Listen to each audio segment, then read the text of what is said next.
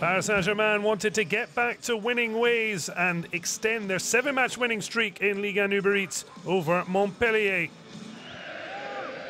It started off well when Sergio Ramos won an early spot kick. The Spaniard would eventually go off injured, along with the man who was denied from the spot, Kylian Mbappe.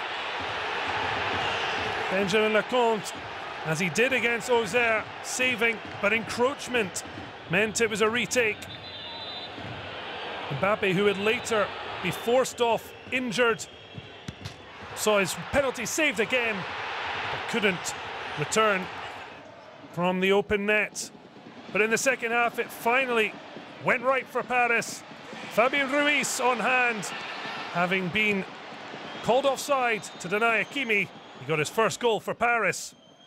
And then he set up Lionel Messi for his ninth goal of the season.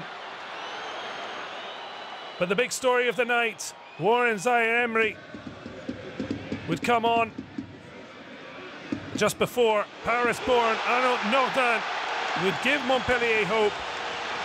But it was the 16-year-old who lit up La Mosson, the youngest player to score in Paris's history, and also Paris five points clear at the top of the table.